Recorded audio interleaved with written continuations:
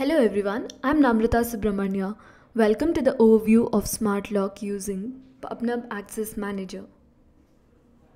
I've chosen Raspberry Pi 2 as my IoT device here.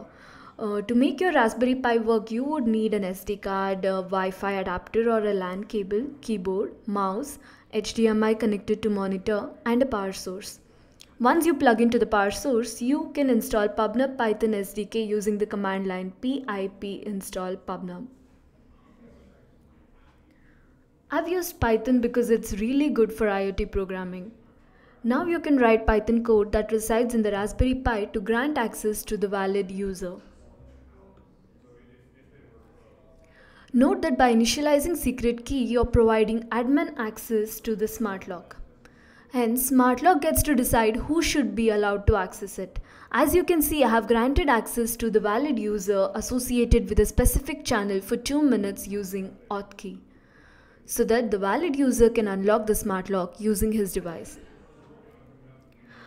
Let me run my Python code now.